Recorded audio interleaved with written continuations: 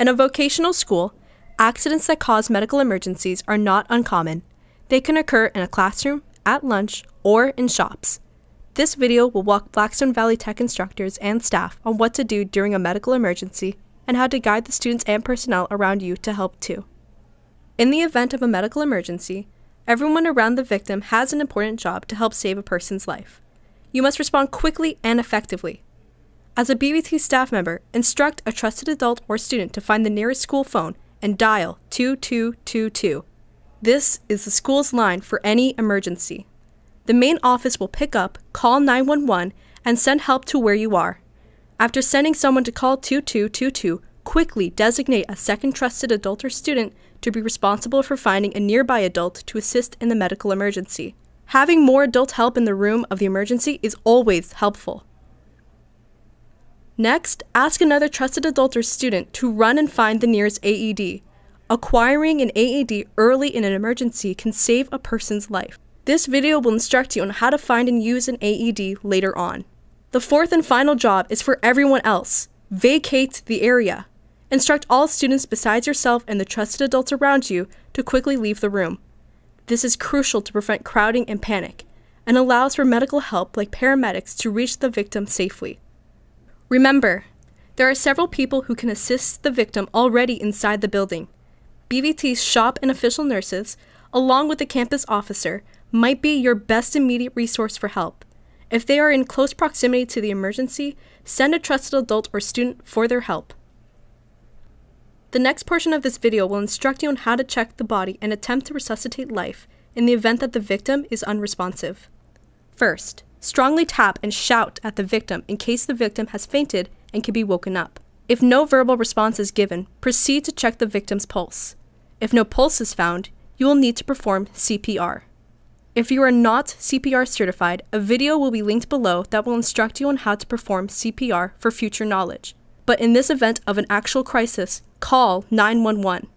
Ask the 911 dispatcher for instructions on performing CPR Know that 911 is a resource and the dispatcher can help you save a life. If you have started to perform CPR, one person at all times should be performing CPR until first responders arrive.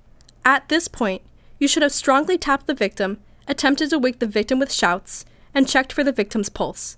If no signs of life were found, you should have quickly started to perform CPR with or without 911 guidance until first responders arrive.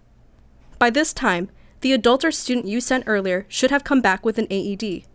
AEDs, or an automatic external defibrillator, can be found in eight different locations in the school seven on the walls, and one AED in the nurse's office.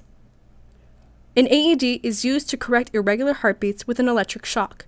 Locate the nearest AED to your office or classroom and remember the location for future emergencies. Be mindful that AEDs are completely safe for you and the victim. Never be afraid to use an AED, as employing it quickly may save a person's life.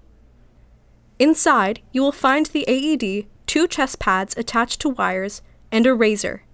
Before you turn on the AED, remove any clothes in the way of the victim's chest. The AED requires direct contact with the skin. Next, quickly assess the state of the victim's chest. If the victim has excessive hair on the chest, remove the plastic covering from the razor and shear the hair away. If the victim has a medicine patch on the chest, peel the patch off and wipe the residue clean. If the victim has a pacer device found near the collarbone of the victim, recognized by a noticeable lump in the skin, remember to place the corresponding AED pad below the pacer device instead.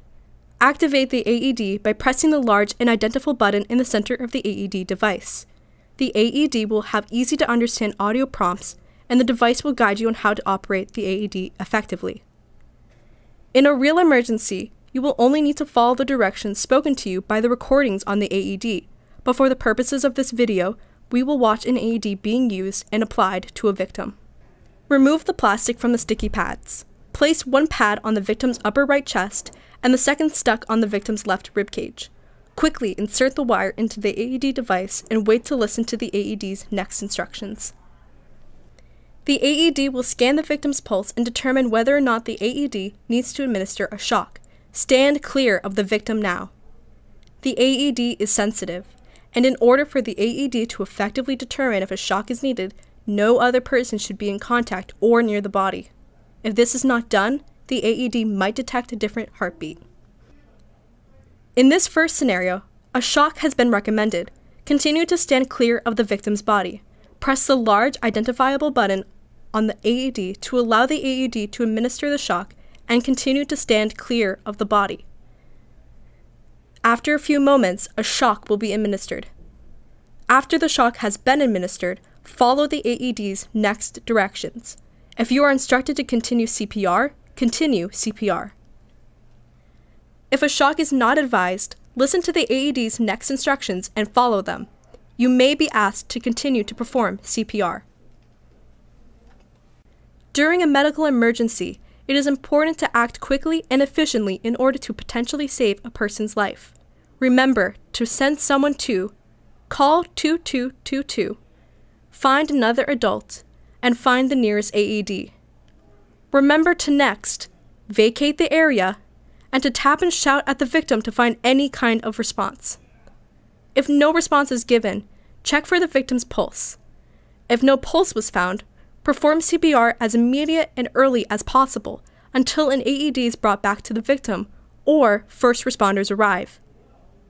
If you have an AED, quickly open the victim's clothes and clear any hair or accessories that may be in the way of the AED's pads.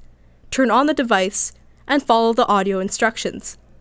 Remember that the best chance for a victim's survival is to act fast and to act early.